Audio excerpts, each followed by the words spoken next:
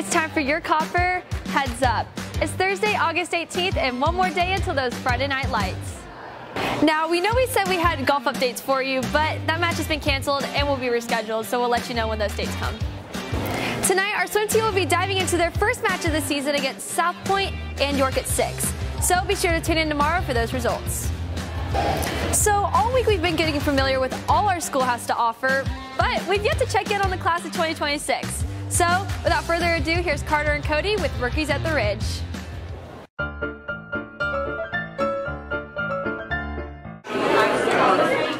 Now that we're almost through our first week of school, we caught up with some of the members of the newest class here at Catawba Ridge and asked them how their first day of school was.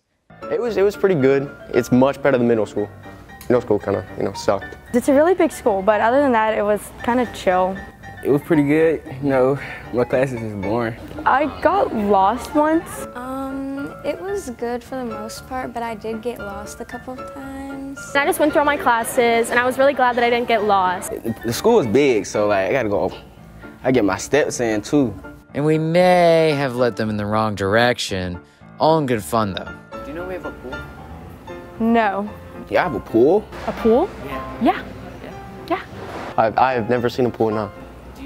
Do you know Mr. Meltzer was a WWE superstar? No. Did not. That's really cool. Uh, Oh.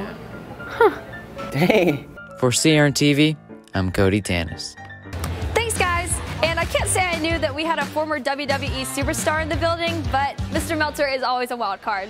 That's it for me. For CRN TV, I'm Hannah Watts.